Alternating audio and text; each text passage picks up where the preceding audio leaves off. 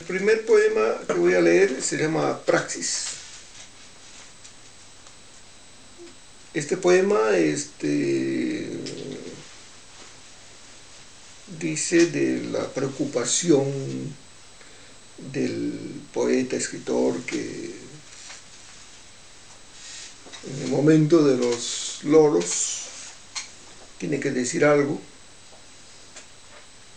y entonces ¿qué es lo que pasa? Praxis. De arena blanca una cabeza. Para volar basta con dar un salto, el del corazón que se desboca, o esa mirada ajena que en la pluma es un río que baja cantando. Escribir, escribir, la mano pesa como un fastidio. Escribir rostros pasajeros, nombres, ahora, después o nunca. Escribir en la cabeza, en la sien luminosa, naves desplegando velas, sueño que pisa tierra. Escribir peces o pájaros al vuelo, aquí en el mar del plateado espejo escribir, escribir sin motivo, sin esa música triste de la memoria, escribir sin escalas de un solo viaje.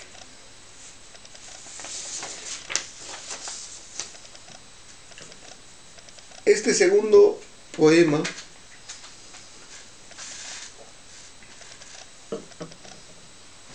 pensando en mi querido amigo Homero Alcalde,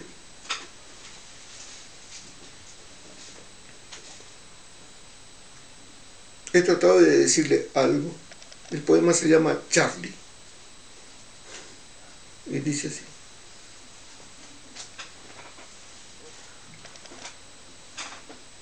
Te imagino insistente, un corazón palpitando,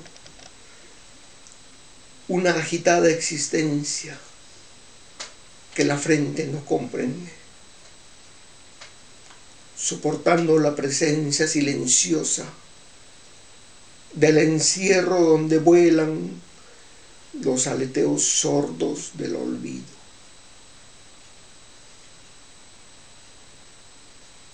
Acércate otra vez, lo más cerca del abismo, al clamoroso mar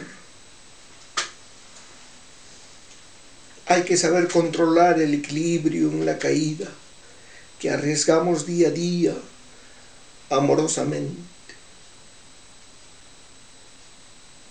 La rueda del inexorable es un cuerpo inmóvil que jubila el instante de la vida,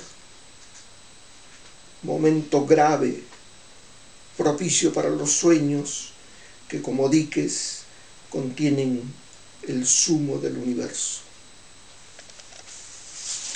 Voilà. Wow. Bravo. Merci.